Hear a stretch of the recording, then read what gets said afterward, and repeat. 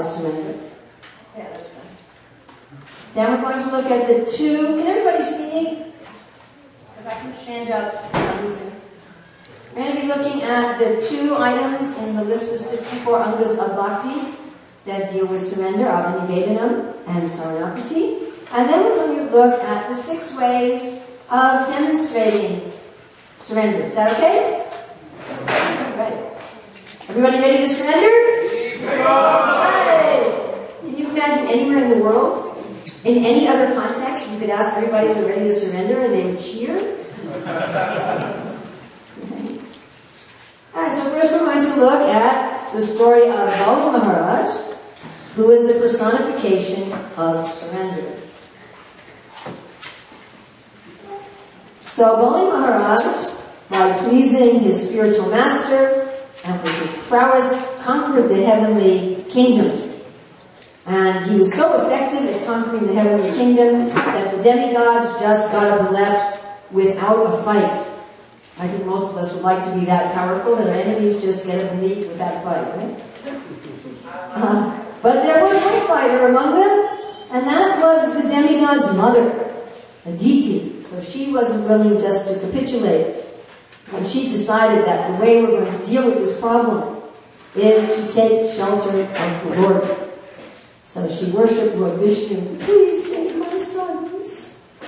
He said, All right, I will become one of your sons to save my brothers. And then, of course, he appears as Vamana, the dwarf. Meanwhile, back in heavenly planets, Bali Maharaj is having a yajna because he's told by his guru, you're not going to be able to maintain your hold over the heavenly planets without doing yajna. Now, you can get it, but you won't be able to keep it. That's one of the difficulties in this world, isn't it? Not just getting something, but keeping it. Isn't that fact? Right? Hiranyakashipu, when he received his boons, Lord Brahma said these will be very difficult to maintain. So as he's doing this yajna, and of course, in all yajnas, you're worshipping Vishnu. Well, Vishnu shows up. Sometimes this happens to us in our Krishna consciousness also. We're chanting Hare Krishna, chanting Hare Krishna, and Krishna shows up. What do you do when he shows up? How do we treat him? So he comes and he says, My dear Bali, you're doing this yajna for me. I'd like you to actually give me something. Please give me three paces of land according to my own measurements. Uh-oh.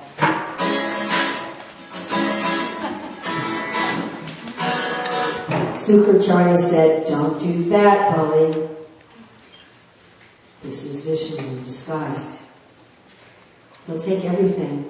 But you told me to worship Vishnu. It was under your instructions I was worshiping Vishnu. I got everything by worshiping Vishnu. Yeah, but don't really do it. Isn't that what most religion is like? Oh Lord, oh Lord. Yes. Uh, um, forget it. Actually, there's one devotee in the Hare Krishna movement who tells this story that he really wanted to see God. And for one year he was obsessed. I really want to see God. I really want to see God. So he was in the, uh, working for the Laguna Beach Temple going out on book distribution. They were collecting. Some of you can't see.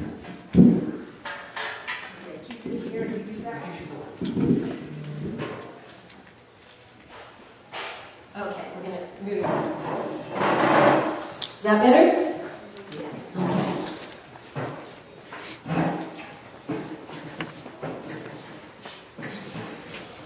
He was doing Sankirtan doing book distribution to collect for a new outfit for the deities. When and for one year he'd been meditating on, I really want to see God, I really want to see God. And then one night in his room, when he was again, I really want to see you, I really want to see you. He looked at the wall and he saw on his wall, if any of you have been to Laguna Beach, the Panchatattva on his wall. And they were wearing the outfit for which he was collecting that hadn't been offered yet. And as he was looking at the wall, he realized he was really seeing God. And then he went, oh, go away! he said, that's the last time I've seen God. So sometimes we say, you know, please come, please come, please come. And then Krishna comes and we say, oops, go away. I may use that again. Okay, we'll, we'll do it. But Bali didn't do that. When it came the time, he said, okay, I'll give you what I promised. Three steps of land.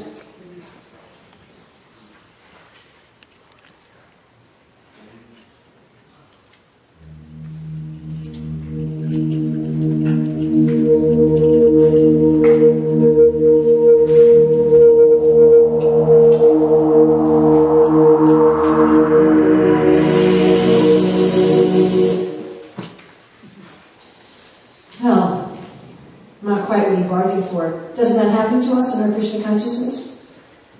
We say, okay, I'm ready to surrender. And it wasn't quite what we bargained for. So Vamandev, little boy, he became huge as the universe, and in two steps he covered everything. And then you would think that the Lord would say to Bali, well done, you've given me everything. But instead he said, um, you said three steps. So now trouble again.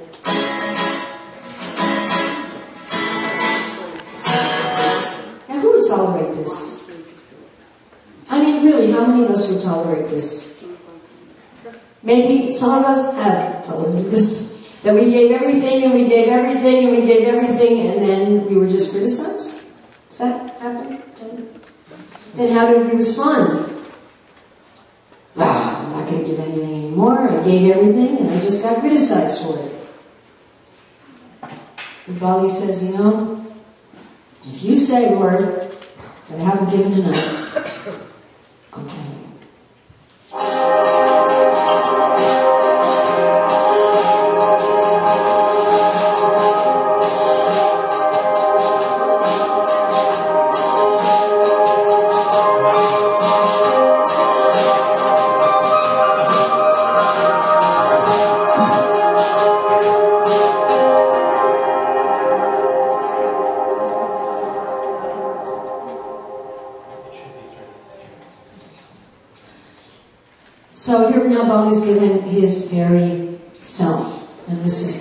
Is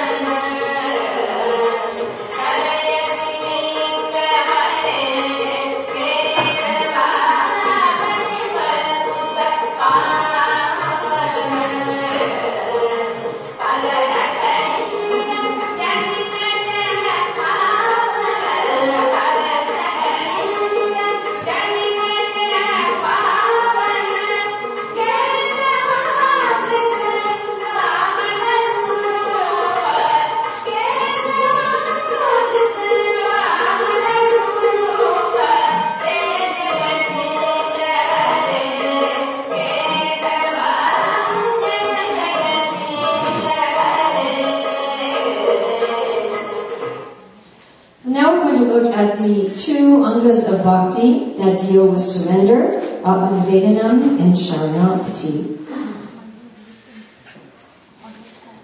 So Atmanivedanam is I am Krishna's. I am Krishna's possession. I belong to Krishna. And Sharanapati is Krishna is mine. Is my what? Krishna is my protector. Krishna is my protector. Here we see some of the classics of protection with Nrsingadev, who protected Prahlad from the original universal child abuser.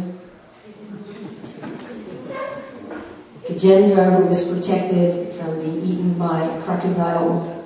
And the crocodile was also delivered. Uh, Draupadi, who was being protected from humiliation.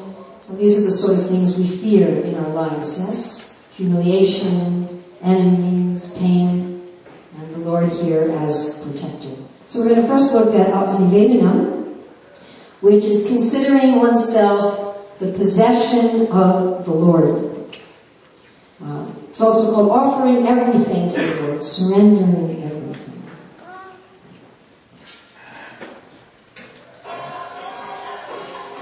So here's stated in Bhagavatam 11, 29, 34.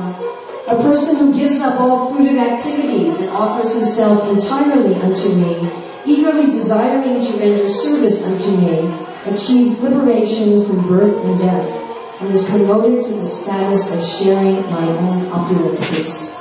What does this mean, give up fruitive activities? What does fruitive activities mean? It means I think I'm the doer, and I am working, working, working, working, working to get a fruit. And then I get the fruit and I eat it. And then I work and work and work for another fruit, which I get and I eat. So giving up fruitive mentality means I no longer think that I'm the doer, and I am no longer interested in enjoying the fruits of my so-called action because can we really control the fruits of our action? Partially, right? We're one of five factors of action. And then when you get that fruit, is it always sweet? Is there always even a fruit? then you get there and the birds are into it. Or you get it and you say, ah, wasn't what I wanted anyway. Or you get it, it's perfect, and then you're finished with it. And it's all over. And then you gotta go for another. So the devotee instead says, Krishna, what I'm working for is to be yours in this moment, in this moment, in this moment, in this moment. My fruit, my result is pleasing you now, and then pleasing you now, and pleasing you now, and pleasing you now. And what does one get? Well, what do we do with what we possess? We take care of it. Aham tvam sarvapapebhyo mokshisham. When one says to Krishna, I'm not going to be the, the doer anymore for the fruit, but I'm just going to be giving to you, to you, then Krishna says, okay, I'll give to you too. I'll take care of you. I'll take charge of you. You won't have to undergo your karma in this world of birth and death. Isn't that what we want, really?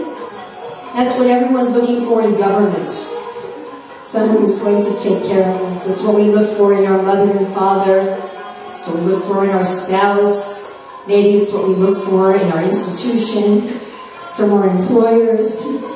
But in this Atmani Vedanam, no, it's Krishna. And he says, I will take charge of you. Prabhupada says, if somebody says this to us, don't worry, I'll take charge of you. How much relief we feel. But the problem is, an ordinary person cannot take care of us. But when Krishna says it, then we know, okay, he can take care of us. Oh, and this very nice.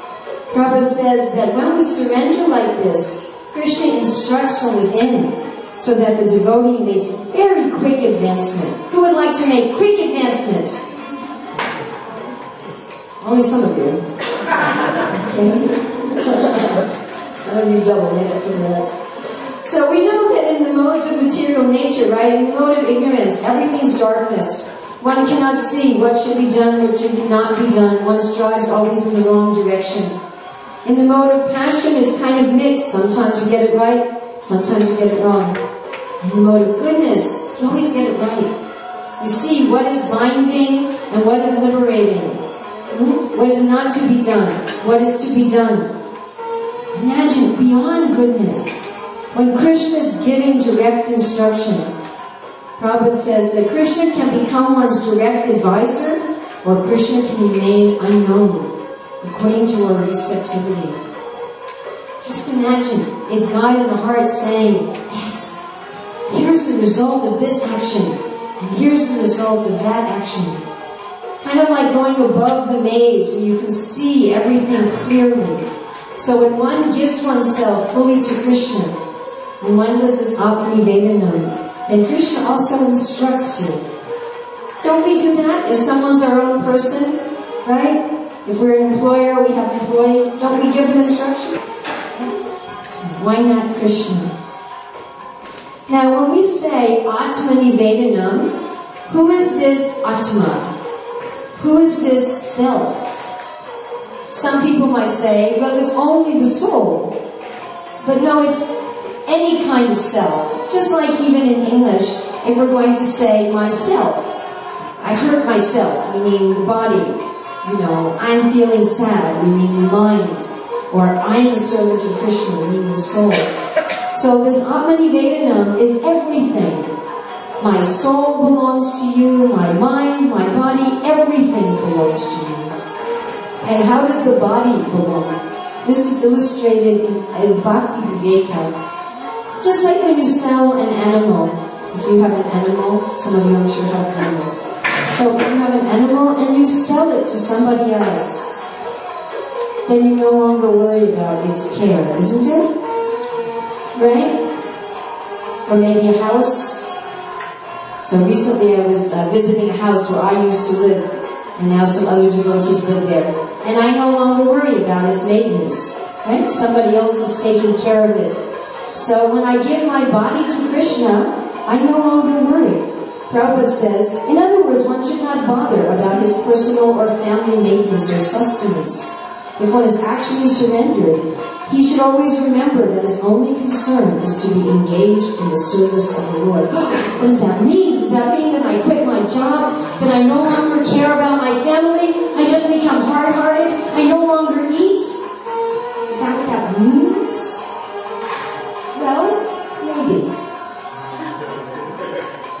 Hey, of Madhavendrapuri, Puri, who traveled without even begging. You know, Sri Chaitanya Mahaprabhu, when he went in South India, he was begging. Madhavendrapuri Puri didn't beg. He didn't make any effort for his own eating. Or we have the devotee who lived like a python that Prahlad Maharaj met. We have Srivas Thakur who had his one, two, three method. But in general, that's not what it means practically. In general, it means my dear Lord, I'm yours. My family is yours. My house is yours. My body is yours. I therefore take care of them not because they're mine, but as a service to you. And therefore all I worry about is my service. Whether or not they're actually taken care of, that's your business. My business is just to do my service without attachment to the external result but with only attachment to pleasing you. And with the mind, I really Bhaktivinoda Thakur is so wonderful as far as surrender. He says, My mind, my household affairs, my body, whatever is in my possession, my dear Lord, I offer to you for your service. Now you can do with them as you like. You are the supreme possessor of everything. So if you like, you can kill me. Or if you like, you can give me protection. All authority belongs to you. I have nothing to claim as my own. And what about surrender of the soul? What does that mean? So here Yamunacharya said, My Lord, I may be living within somebody as a human being or as a demigod, but whatever mode of life I'm in, I don't mind. Because these bodies are just products of the modes of material nature. And I, who am in possession of these bodies surrender unto you. Generally, we're so concerned about what body and the situation we're in, isn't it? Any of you ever think about what kind of body you want in your next life if you don't make it back to Godhead? Right, Kirti tells the story of how Prabhupada said he'd have to take birth in India, and he was really upset because he didn't want to take birth in India. And Prabhupada said, Don't worry, there's nice Vaishnavas all over the world now, and you have a lot of options. But here, in self-surrender, keep the Janmaway. Doesn't matter. Let me be an insect. Whatever. I, the self, belong to you. Wherever you want to put me, the self, whatever situation, you own me. I am yours. Sampare vipane jivane marane. Dharma magela tuo pare marane. Happiness, distress, honor, dishonor, life or death, it doesn't matter because my happiness isn't coming from my externals. My happiness is coming from the fact that I am yours. I am yours. I am yours. I am yours. That is where my happiness is coming from. And this wonderful thing here, that because he's offering his body to the Lord, Prabhupada says, he gives up all activities for pleasure in this life and the next, which nourish his body and things related to that body. The Lord then thinks, I desire to make him special. He then attains freedom from death, Amritatwan, and similarity to me, Atma Bhuyaya. This means that he attains liberation in the form of attaining his Swarup and Sharsti like those of the Lord's. So as soon as one says, my dear Lord, from this day on I am yours, the Lord says, oh, let me give him his original form. Let me award to this soul the, their original Swarup as a gopi, a cowherd boy, a cow, whatever one may be. And let me give him opulences equal to mine.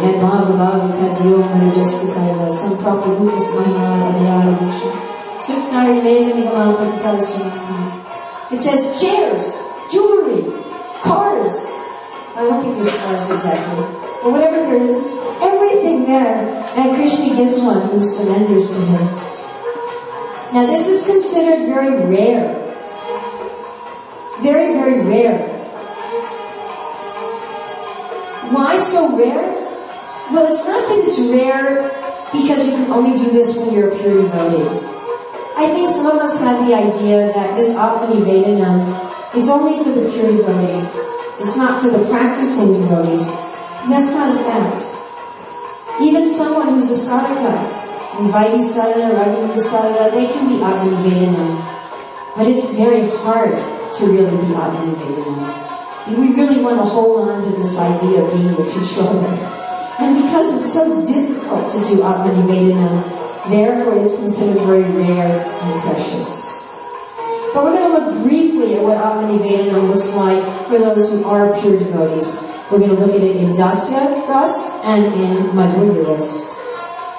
The example given in Dasya Ras is of King Ambarish, Sanatana Krishna Padara he surrendered everything, all of his senses, in the service of the Lord. And when there was a demon coming to attack him and kill him, for no good reason, he was really innocent. He didn't defend himself. Of course, he was a king. He would have defended himself on the battlefield against another Kshatriya. But because the person trying to attack him was his guest and a brahmana, even though he was innocent, he didn't defend himself. And in fact, when Krishna's Sudarshan disc was going to kill Durvasa, Ambarish said, Please, be kind to my enemy. Don't kill my enemy as he would have killed me. Then we see Atma Nivedanam in Madhurya Bhava with Rukmini. She said, Krishna, I belong to you. No one else should take me away. If I can't be married to you, I'll do austerities for unlimited lives until I can be yours. Please, take me as I am yours. And when she was married to Krishna, and Krishna said, you know, I don't know if I'm really the perfect husband for you. You know, there was no divorce in those days. So she became a little frightened. Is Krishna going to leave me? Krishna likes to play these meeting and separation games with his devotees. We'll be talking about this Krishna willing on uh, Sunday morning and we talk about Krishna being the Rasalila and returning. And Rukmini felt, without Krishna, I am nothing. Sarvam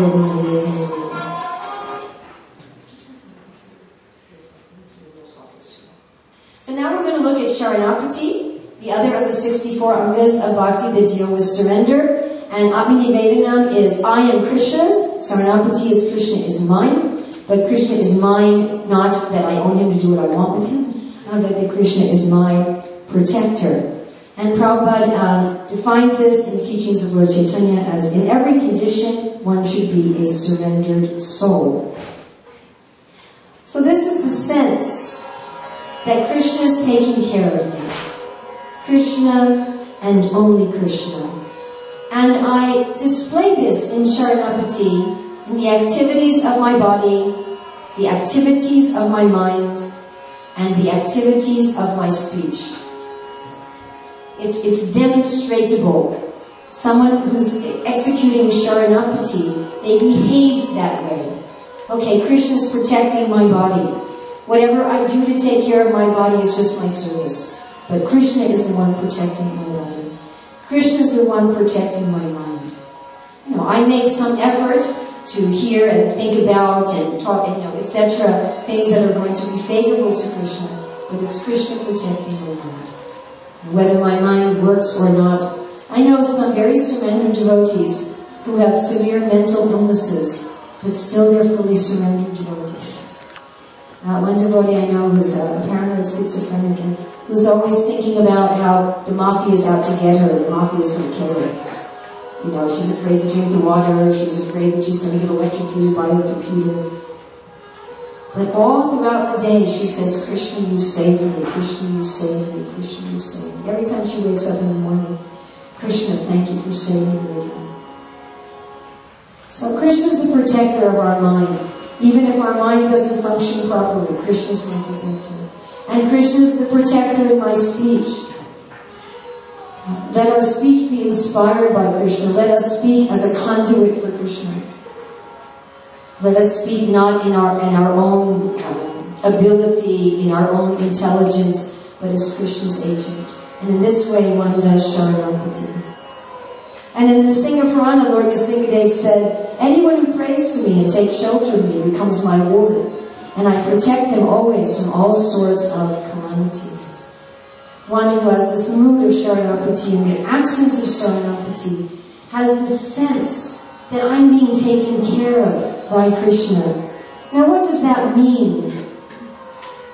Does that mean that everything in my life is going to work out great from a material perspective according to my plans? Forget it. Just forget it, okay? Because it's not going to happen. I mean, maybe. Maybe there's one out of the seven billion people on the planet who can say, you know, I made a plan for my life, and that's what happened, and it was all like great. But please don't count on it. Who here has had a life that worked out totally according to their plans? Oh my. So what does this mean? Hmm? It means that I trust Krishna that whatever you are doing is protection. Just like the parents give their children nice food and they take their children to the doctor where they get injections, right? Both. And the child trusts whatever my parents are doing is protection. The children fall asleep in the back of the car and get carried asleep to the next destination, right? Did you ever do that when you were a kid? Wake up in your hotel room and not know how you got there because your parents carried you in? Like that. In Krishna, I trust that whatever you are doing for me is protection. You are protecting my body, my mind, and me in the most perfect way, at the most perfect time, with all love.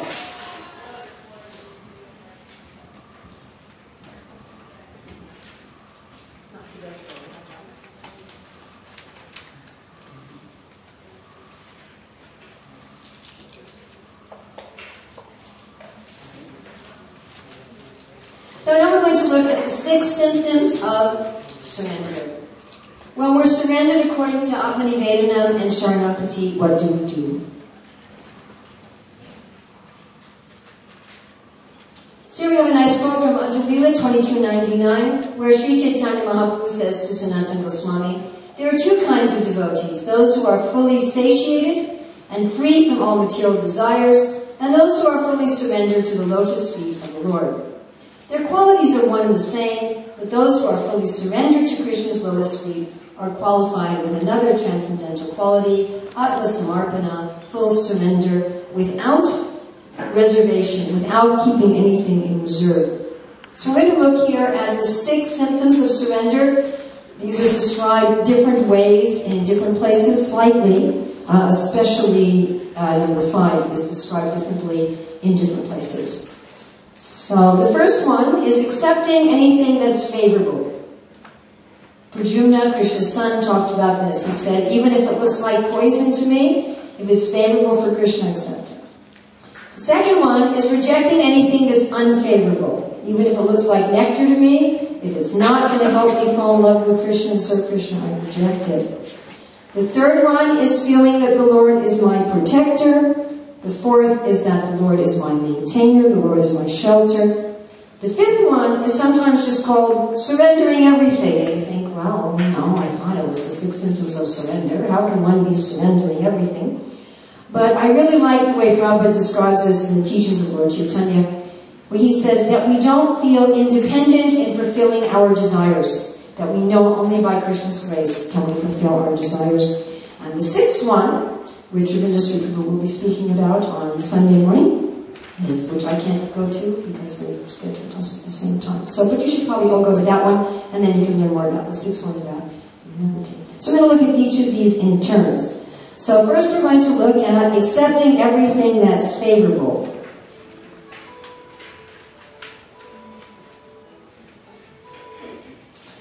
So this is, of course, all of the 64 angas of bhakti, but not just the 64 angas of bhakti. Anything that can help us. Although we're not really interested in varnashram. Varnashram, Sri Chaitanya said, is external. It really only has to do with the body and mind. Still, we have to engage our body and mind some way. And therefore, we can accept regulated, pious activity in the world offered to Krishna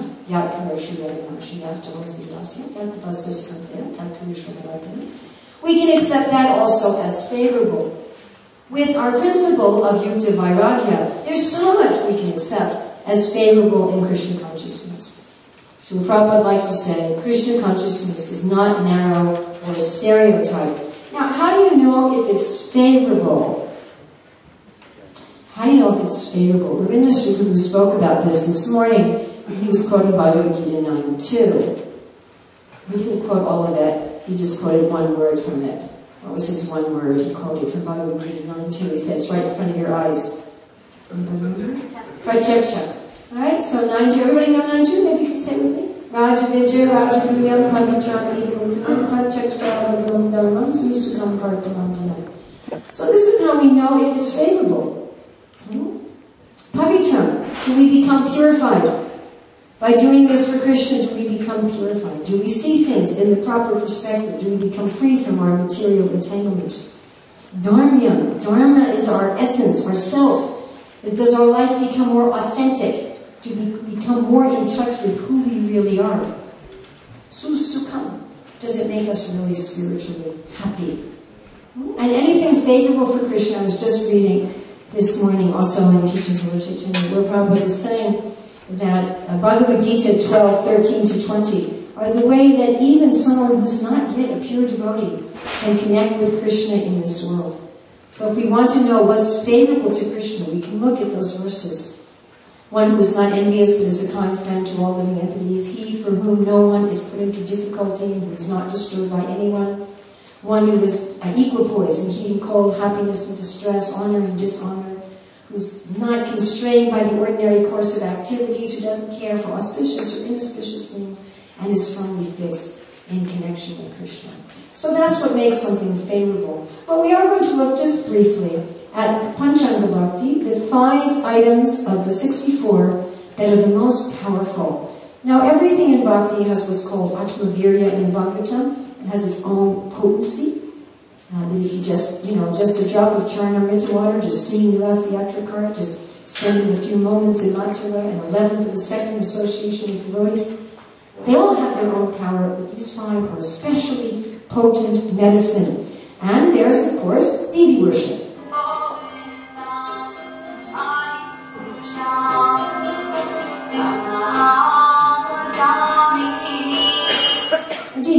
So nice that even if you're a very beginner in Krishna consciousness, you can see Krishna.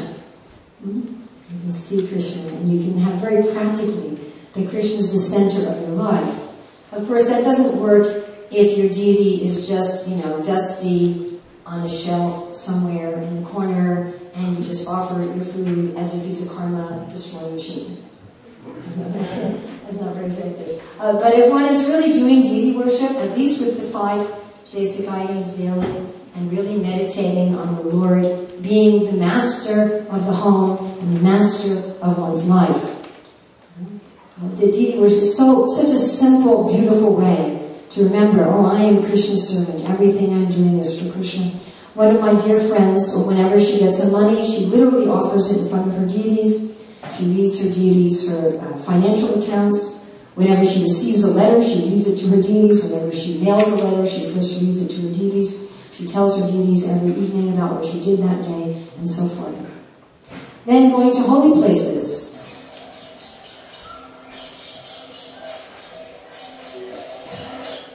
So of course, not only is there Vrindavan, Mayapur, etc., but Srila Prabhupada has established so many holy places all over the world. When we come here, we're also in a tirtha, and we can establish a holy place in our home. Right? When we establish the deity in our home, we're also establishing a holy place in our home. And of course, as Prabhupada said in Geneva, if when you chant Hare Krishna, you imagine that Krishna is on a diamond throne in your heart, and you're bathing him with Ganga and Jamuna water, and dressing him and ornamenting him. Says if you chant like that, then wherever you go becomes a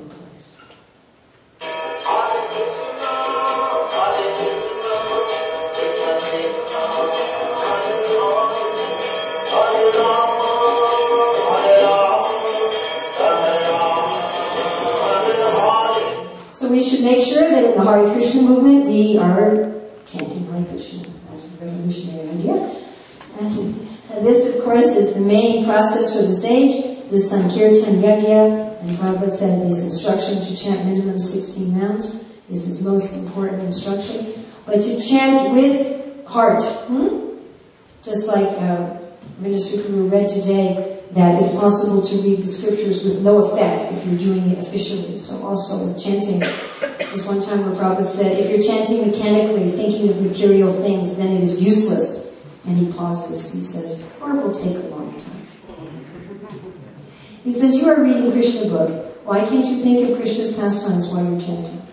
He said, you can think of Krishna talking to Arjuna, or you think of how Krishna is killing the demons and the cowherd boys are going, Jai, so one should chant deeply on connecting with Krishna.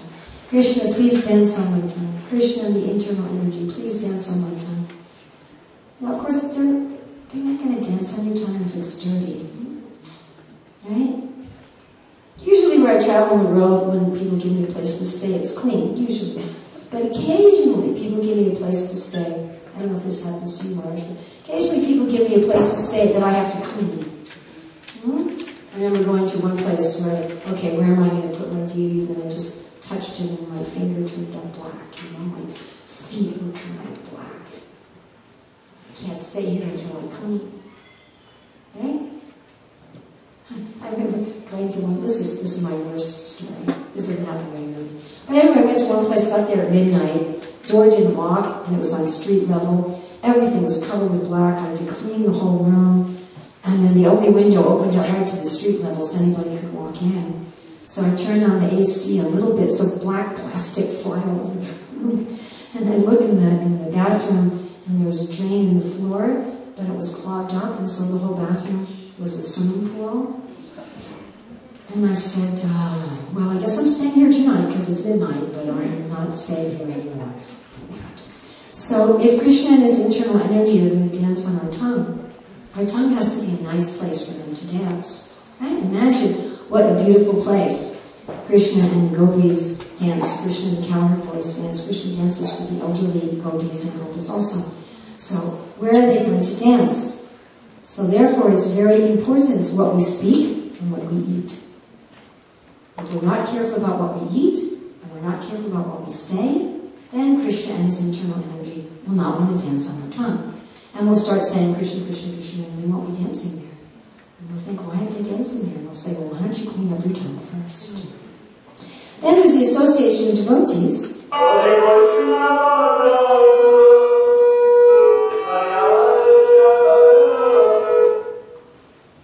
Mm. So this is each of these could be right a whole other seminar. We could talk a lot about fellowship with devotees, the giving gifts, giving prasadam, giving confidences, receiving gifts, receiving prasadam, receiving confidences, and our Bhagavatam classes on this topic. That we should give to benefit the other person. Our gifts should benefit them. Our prasadam should benefit them, and our confidences should benefit them. We shouldn't give any of these things to benefit ourselves. Uh, we may often talk to other people simply because we want to unload our own garbage on them and we don't think about how it's going to affect them. Or maybe we give them a gift just because we want to get rid of it and not keep it in our house anymore. Or maybe we cook something for somebody else because we enjoy eating it and we don't think about what they enjoy. So we should give to devotees what they want, give with love, and we should also receive uh, with love. And of course, this association of devotees, devotees are the ashraya, they are the shelter for all of our relationships with Krishna, both in the preliminary stage and at the advanced stage. Satam vikarya samayam kata, tajas nabhagavadvaragavadvari, shranavati bhakti. So in each stage, it is the association of devotees. And just love a mantra, eleventh of a second. Eleventh of a second. Sarva siddhi want all perfection, but one must associate with devotees very nicely and very sweetly to try to serve them and please them, and associating with superiors to serve, to make friends, and to bring out those below. And then, of course, the Bhagavatam.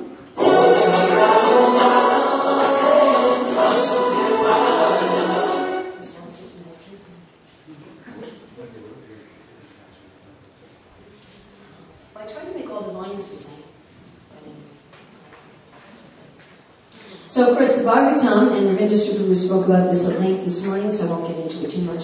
But hearing with rapt attention, with rapt attention, Bhagavatam class is not a place for arts and crafts, or to go to catch up on your sleep.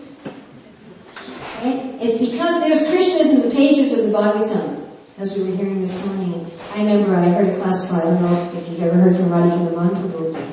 Uh, he was speaking once in Italy at a conference, and not very many people went to his class. I mean, you know, he's young, he's a grihastha, right what his class. There was hardly anybody there, seven or eight people. Nobody recorded it. But when he was speaking, Krishna was jumping out of the pages of the Bhagavatam and walking around the room. So we should hear and read and speak Bhagavatam in that moment, that here is Krishna in the pages, in every letter of the Bhagavatam. One of our sannyasis told me, he said, one time when I was reading the books, I actually heard Prabhupada's voice speaking in purports. When we are reading this Bhagavatam, we are in touch with Krishna, with Narada Muni, with Sukadeva Goswami, with Srila Prabhupada, with Bhakti Siddhanta, with Vishwanath Chakravarti Thakur. We're in their association. And nowadays it's so wonderful with modern technology, right? One of the benefits of modern technology, you can have all the books on your phone. You can read them, you can hear them. Oh, I don't have any time to read. You can read one screen on your phone before breakfast, and one screen before lunch, and one screen before dinner. You can listen to audiobooks while you're taking a shower, while you're driving in your car. Hmm? And you'll find that the spiritual world will manifest as we study these things. Okay, so that's the first of the six items of surrender, accepting what's favorable. Now we're going to look at the second one, rejecting what's unfavorable.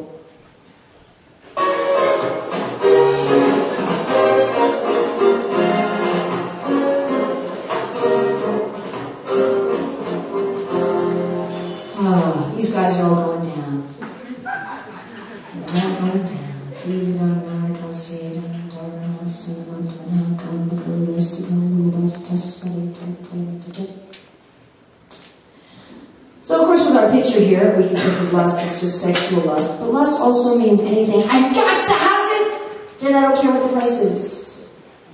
Oh, pay the price later. Hopefully, there won't be one.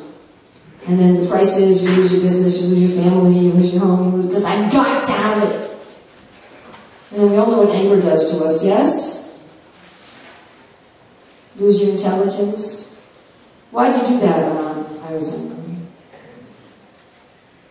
Why'd you say that? Is that what you really mean? No, it's not what I really mean. I was just angry. Right? Say and do stupid things, we become a fool, a complete fool, even to ourselves. And then greed. Lust and anger, at least, can be satisfied temporarily, but greed, by definition, cannot be satisfied. And we are really suffering from greed in modern society. More, bigger, more, bigger, more, bigger, more, bigger, more, bigger, more, bigger, bigger, different, different, different, bigger, bigger, different, more, more, more. I already have a perfectly fine working phone, but I'm going to stand in line for four days to get new one because I have to have more. And more, and more, and more. This is because material sense gratification gives you satiation, but not satisfaction. Hmm.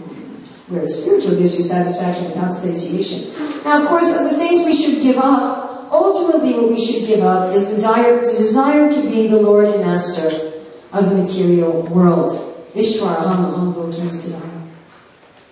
And this desire is very nicely explained by Raghunath Das Goswami and Bhaktivinoda Thakur in Manashiksha, leads to pretense.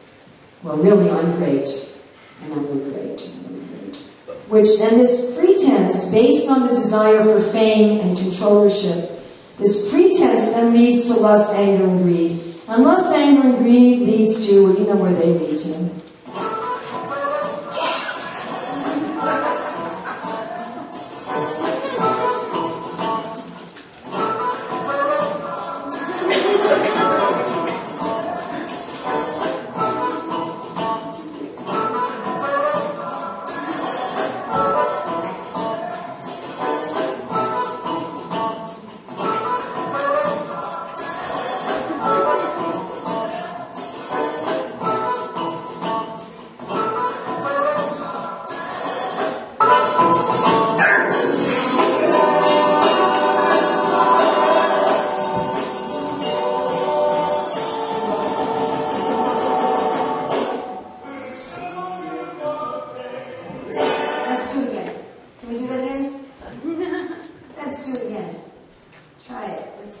Unfavorable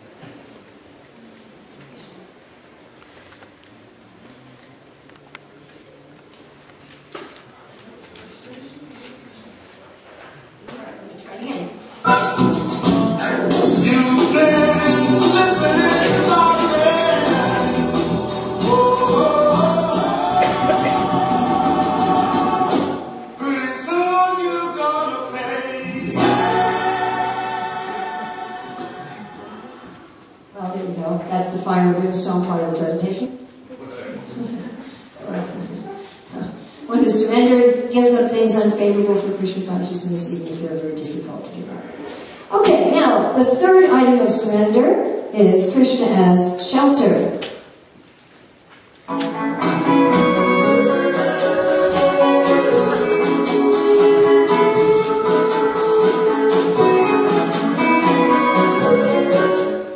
And Krishna will give us shelter from all dangers on the path of Krishna consciousness. There may be so many obstacles, so many difficulties, Prabhupada said, what are these obstacles? He says, with one kick, I can kick out all of your obstacles.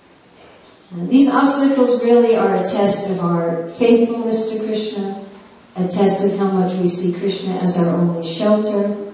They're a way for us to deal with our own impurities and anarthas. And it's said in the sixth canto that the Lord turns all of our obstacles into spiritual service.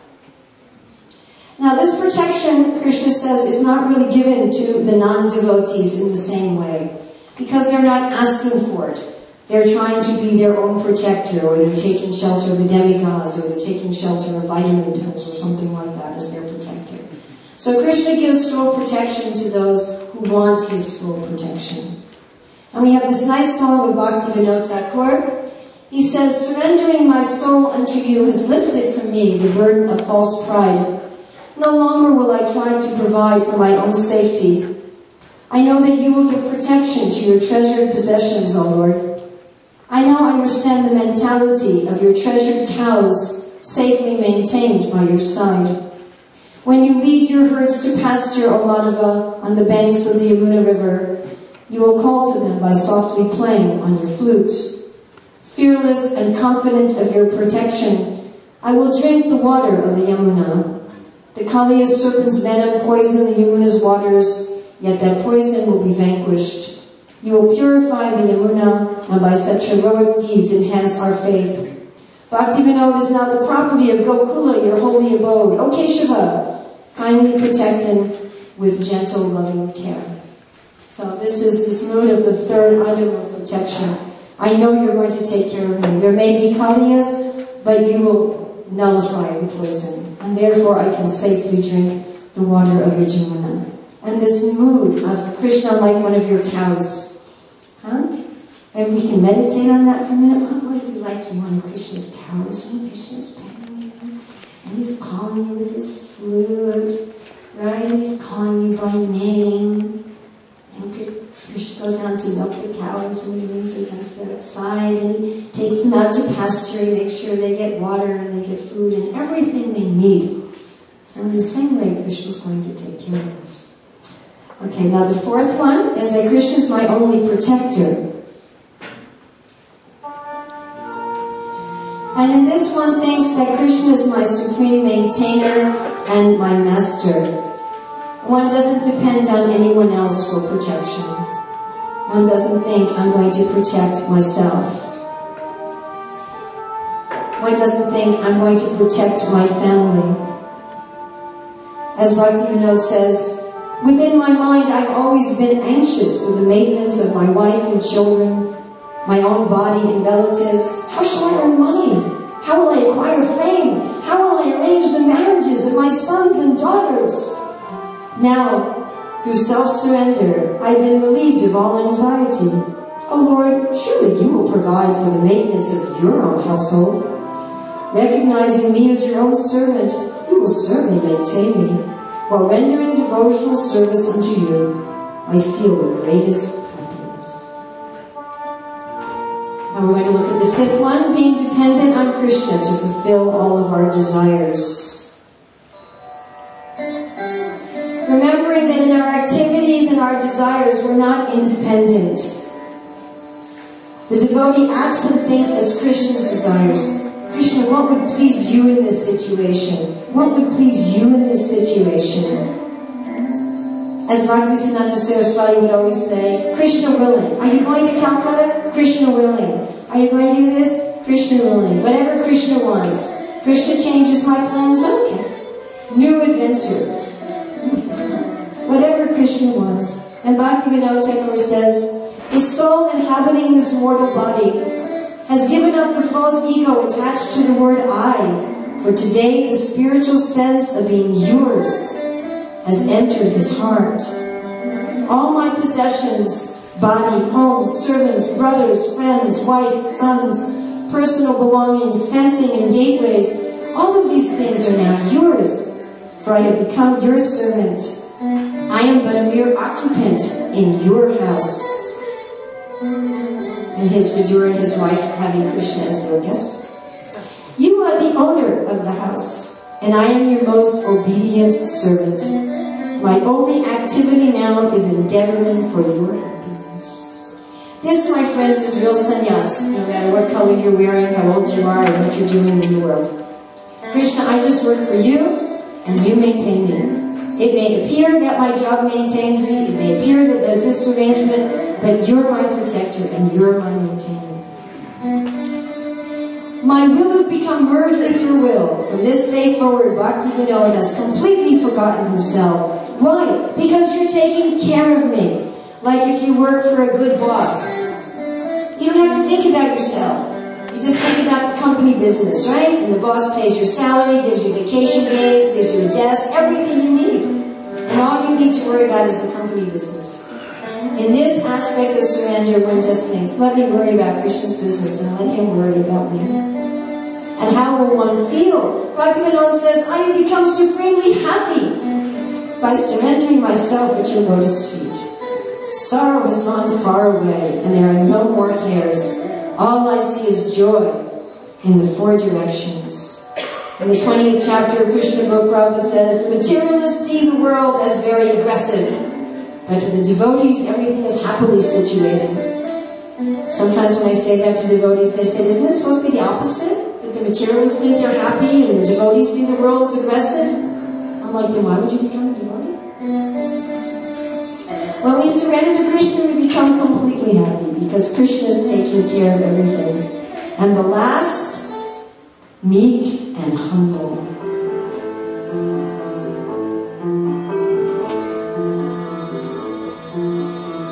Humble doesn't mean low self-esteem. Doesn't mean that I hate myself. It's the demons who hate themselves. It's our self. Our self is Krishna's servant, Jiva Swarupaya Krishna Judasa. The demons hate the fact that they're Krishna's servant. The devotees relish and rejoice in the self they see the self by the pure mind and experience boundless transcendental happiness. Atmarama, Atmatushti, Atmarati. The devotees know, without Krishna, I am nothing.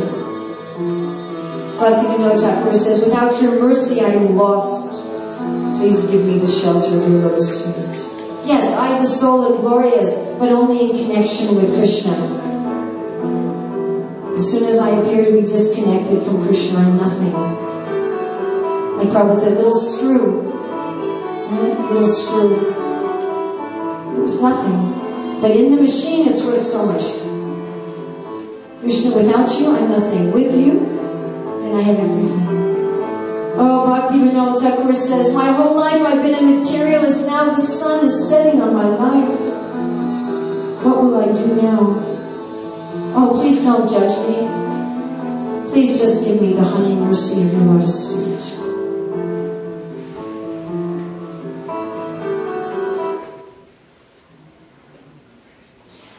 Talked about the story of Bali Maharaj. We talked about Atmanivedana, that Krishna, I am yours, I am your possession, about Sharanapati, Krishna, you are mine, you are my protector. We talked about the six symptoms of surrender accepting what's favorable, rejecting what's unfavorable, conviction that only Krishna can protect me, Krishna is my maintainer, conscious that only by Krishna's mercy can I do anything, and the most fallen, so Krishna will take care. सर्वधर्मान् पैत्यज्यम् मामेकम् Vraj. व्रजा त्वा सर्वपापेभ्यो मोक्षयिष्यामि।